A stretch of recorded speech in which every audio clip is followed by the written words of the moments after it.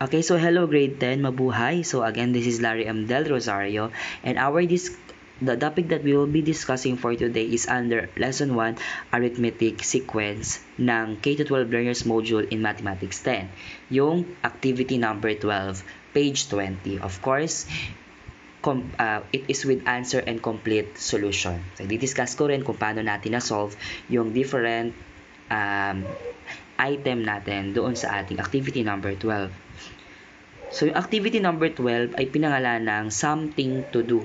The reason why it is called something to do simply because it is all about arithmetic series. And aside from that, it is the sum of arithmetic sequence. So, yung topic natin ngayong araw ay under ng sum of arithmetic sequence. Kapag sinabi nating sum, ia-add lang natin lahat ng sequence na hinahanap. Ay lahat ng sequence na ipinapa-add sa atin. Okay? So, pwede naman natin isulat yung each term ng ating sequence and then we can simply add it manually. Kaya lang, what if the question is asking for the sum of the first 100 terms, the sum of the first 500 terms. So, hindi siya ganon kadali. Medyo komplikado siya in that sense kasi uh, masyado nang marami yung isusulat mong number. So, that is the reason why i-discuss ko sa inyo kung paano siya gawin. So, yung instruction is to find the sum of each of the following. Para mas maintindihan nyo, let's have a series of activities. Okay. So, the number one, we are, go we are asked to find the sum of the integers from 1 to 100. Na-discuss ko na to dun sa previous uh, video na ginawa ko uh, wherein ginawa dito yung yung Secret of Carl, ni Carl, yung ginawa ni Carl Friedrich class when he was in grade 2 or grade school. So, yung formula lang na gagamitin natin, again, yung gagamitin lang natin itong formula na to kapag given yung ating first term at yung ating last term.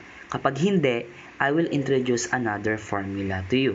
So, yung ating formula ay S sub n equals n over 2 times a sub n plus a sub 1. So, yung n natin, S, S sub n indicates the, the sum of the sequence. Where n is that yung wherein yung n ay yung number ng terms na ipag-a-add natin. Ganon din yung n dito. Yung a sub n, yung last term, yung a sub 1 ay ang first term. Okay, so since we are asked to find the sum of the integers from 1 to 100, obviously, isandaan yung terms na i-add natin.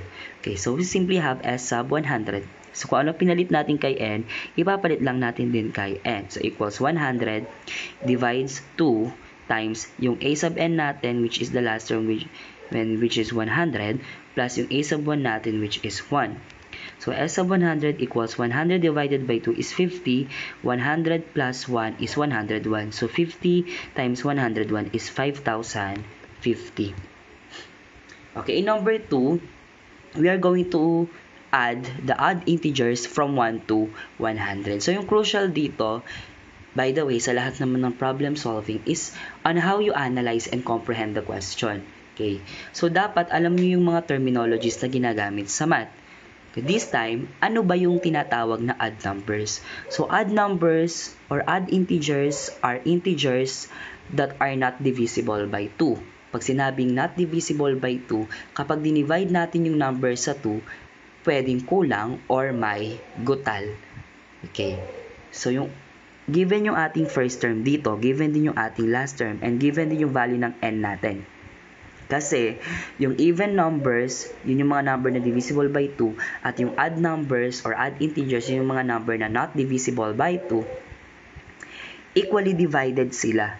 Equal yung, equal yung bilang nila from 1 to 100. So, kung equal sila at 100 yung terms na yon, tig 50 sila. So, our n is simply equal to 50. So, 50 yung i-add nating numbers. Followed by, then i-divide lang natin sa 2 yung numbers na yon. And then, yung a sub 1 natin ay 1 plus, what is our a sub n or last term? That is 99. Kasi yung 100 is not an odd number, even number siya. So, yung, yung odd number na pinakamalapit sa 100 ay 99. Okay, so of 50 equals 50 divided by 2. 1 plus 99 is 100. 50 divided by 2 is 25 times 100. So, ang sum nung odd integers from 1 to 100 ay 2,500. So in number 3, we are going to add the even integers between 1 and 100. So kanina, add integers. This time, even integers. And between 1 and 100, 1. So ano-ano ba yon? So we have 2, 4, 6, 8, 10 hanggang makarating tayo kay 100. Okay, so our a sub 1 is simply 2. Our a sub n is simply 100. At of course, 50 pa rin yung pinag-add natin integers. So we have 50 divided by 2, which is 25. 2 plus 100 is 102. And 25 times 102 is simply 2,550.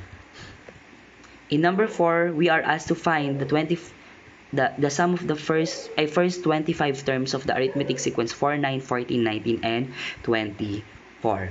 Okay, so I will also have separate video on how the formula was derived. Dito kasi, hindi na given yung ating last term. So, kapag hindi given yung ating last term, ito yung gagamitin nating formula. S sub n equals n over 2 times 2 a sub 1 plus the quantity n minus 1 times d. Where s sub n, kanina lang ulit yon yung, yung number of terms na i-add natin. Ay, ito yung sum ng ating sequence. Yung n represents the number of terms kung ilan yung i-add natin. So, that is 25. Yung 2 times yung a sub 1, yung ating first term, and n, kung ano lang yung value ng n natin dun, ipapalit lang din natin dito. So, magkamukha lang sila.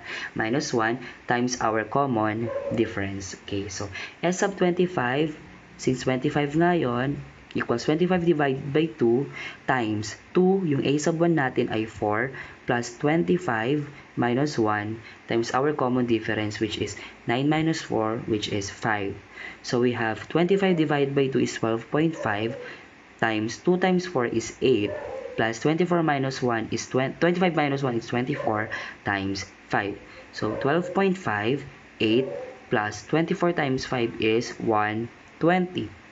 So we have 12.5 times 8 plus 120 is 128 and 12.5 times 128 is 1,600. Okay, so in number 5, we are asked to, to find the sum of the multiples of 3 from 15 to 45. So, ibig sabihin, from, hindi siya between. So, in, included si 15 at si 45. So, ang una natin gagawin ay i-identify natin yung a sub 1, yung a sub n, at yung common difference. Okay. So, dito, hindi natin alam kung ilan yung numbers na i-add natin. So, missing yung value ng n. Pero alam natin na ang ating a sub 1 ay 15. Yung last term natin or a sub n is 45. At yung common difference natin ay 3 since it is a multiple of 3. Pag sinabing multiple of 3, pag dinivide natin sa 3, walang remainder. So yun yung 15 followed by 18, 21, 24 hanggang makarating kay 45. So para hindi ka rin kayo, hindi, hindi ulit kayo mahirapan, dinerive po na yung formula in getting the value of n. And that is simply n equals a sub n minus a sub 1 all divided by d plus 1. Okay. Ibig sabihin, i-add lang natin yung, i-minus lang natin yung first, yung last term kay first term, i-divide natin kay common difference plus 1.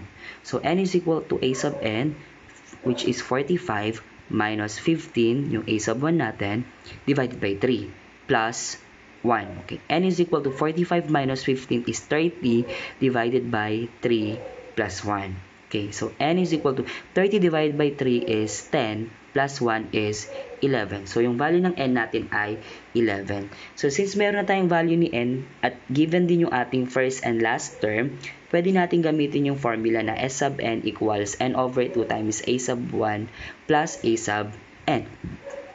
So, we have, since we have 11, 11 terms na i-add natin, s sub 11 equals 11 over 2 multiplied by the first and last term.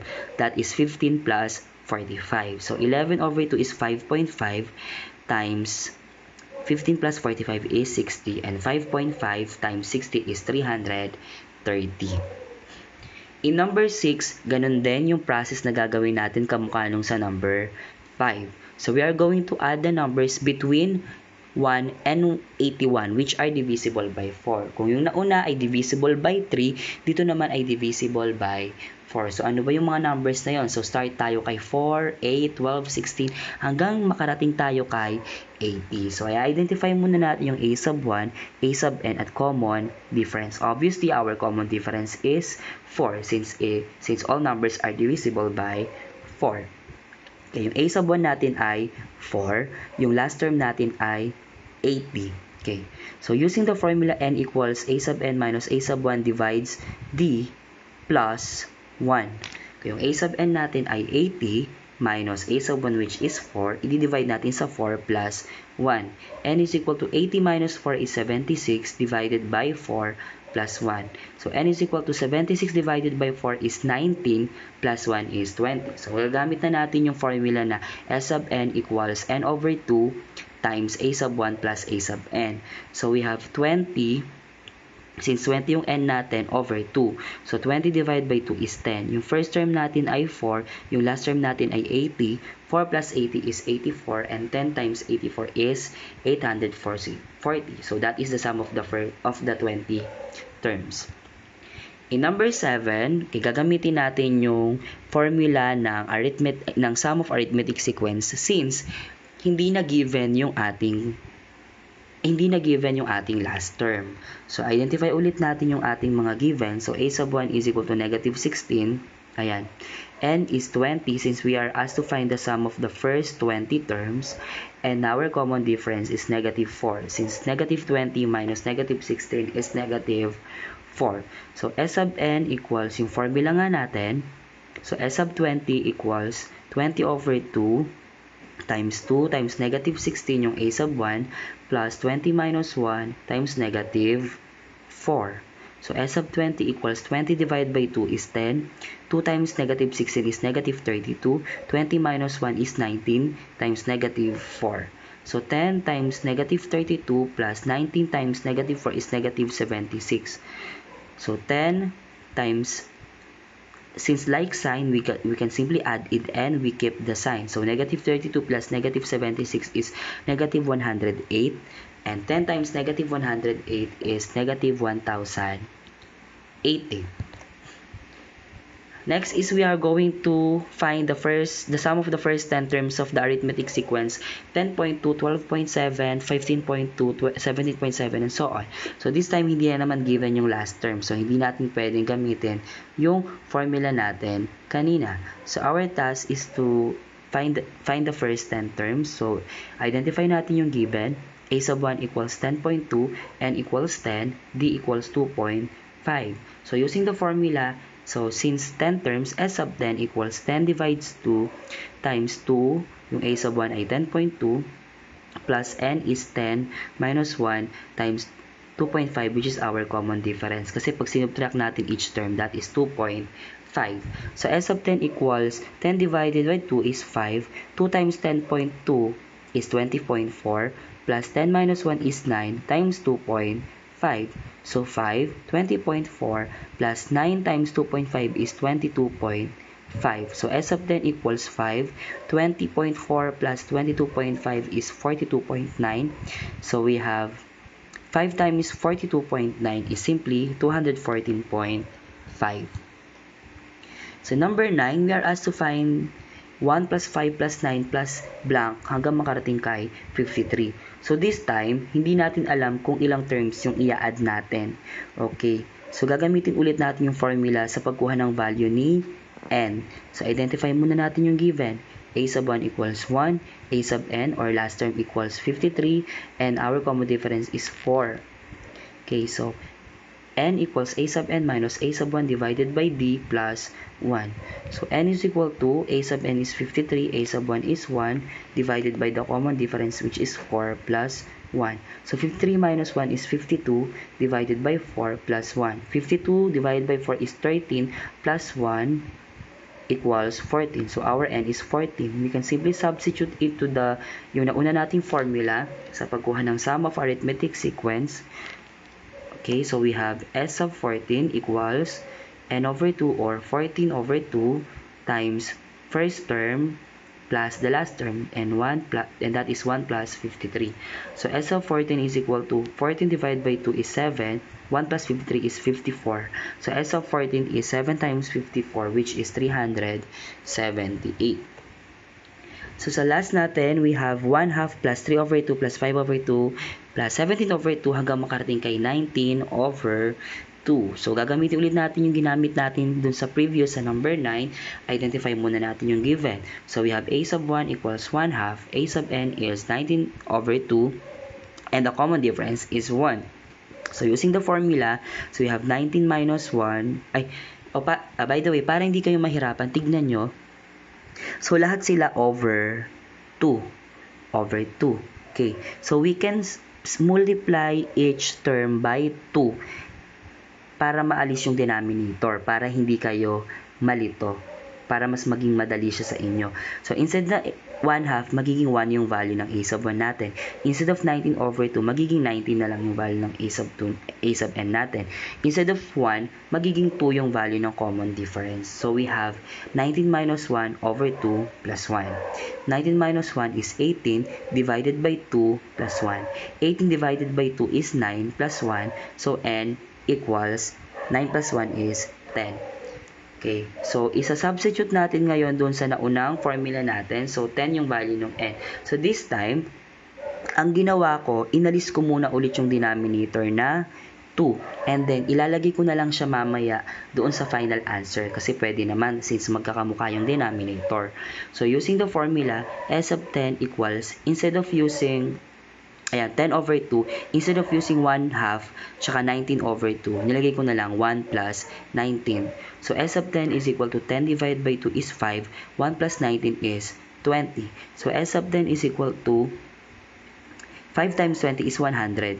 So, since nakuha natin 100, hindi pa yun yung final answer. We have to divide it by 2 kasi lahat sila may remainder na 2. So, 100 divided by 2 is equals 50.